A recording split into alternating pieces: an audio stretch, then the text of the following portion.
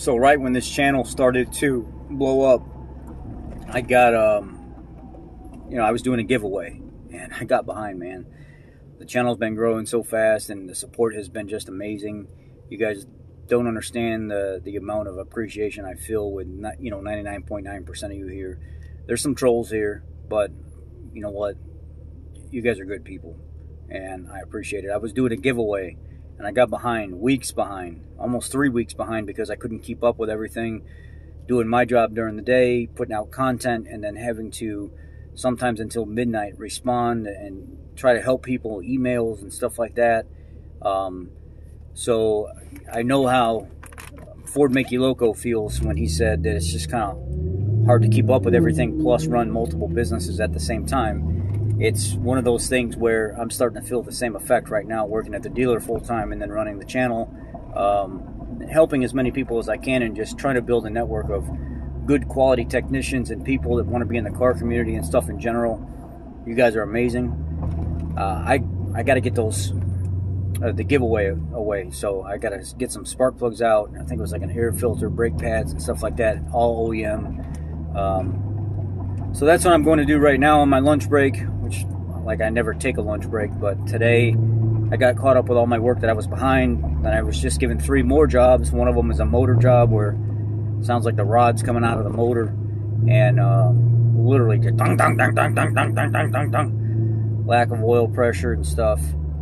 Uh, it's all kinds of stuff going on with this thing. And then I got two more motor issues where motor's making sounds and stuff like that, and then an electrical diag, and I don't know. It's just it's crazy having to do everything and then still keep up with this. Um, I'm learning to manage it more and more, but I'm gonna go get those parts sent out now. And to the people that uh, have been waiting, I apologize. I'm sorry that you've had to wait so long, and I'm gonna go get that stuff out right now.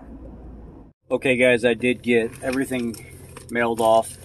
Um, the guy at the post office was super cool. He helped me save a bunch of money by figuring out how to actually package things correctly and stuff like that. So that was awesome.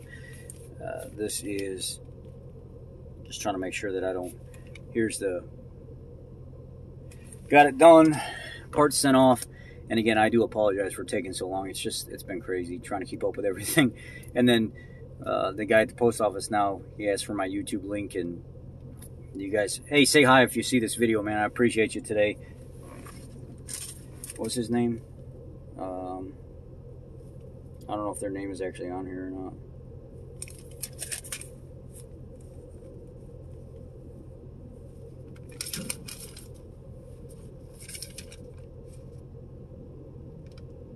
I don't know. I don't see a name, but uh, you said you're going to check out my videos later, so uh, say hi so everybody uh, can see what an awesome person you are. Thank you for helping me save money, get this stuff out to people. And it's kind of cool because uh, when I said I'm putting spark plugs in here, do you have any uh, paper I can shove down in this box so the spark plugs don't bounce around and crack? And he was like, oh, I know how it is. And then he showed me his tattoo on his forearm. It was a picture of a spark plug, which is pretty badass. And I was like, man, that's cool, man. And you just meet gearheads everywhere. And he's into like old 60s model Chevys and stuff like that. Pretty cool dude.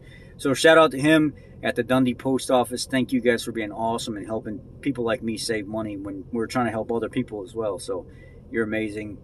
And uh, thanks, guys. I appreciate your patience and stuff like that. And you should have your parts soon.